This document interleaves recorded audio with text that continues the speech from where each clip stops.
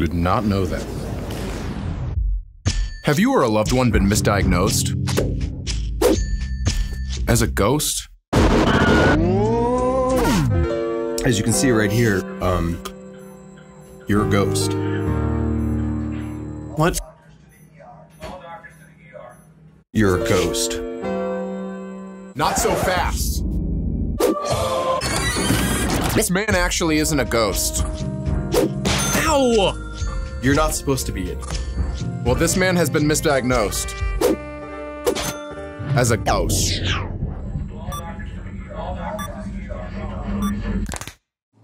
I didn't realize that I wasn't a ghost when he said that I was a ghost, but then he, because he had the sheet that said I was a ghost, so I was a ghost. But then the lawyer came in and he said that I All right, all right. was Look, look, he has a lawyer here. Doctor said ghost. Lawyer said not a ghost.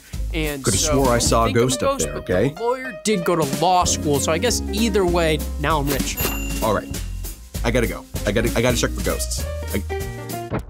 Okay, well, uh, I gotta check you for ghosts again. I need you to lean back and open up that cellar door.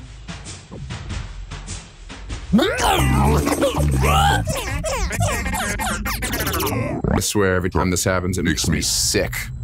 Some Ivy League doctor tricking an innocent American into thinking they're a ghost. Makes me want to barf all over this hospital. Call 1 800 Not Goes Now for a free consultation. This man was misdiagnosed as a ghost. Just like how I was misdiagnosed as a bad lawyer.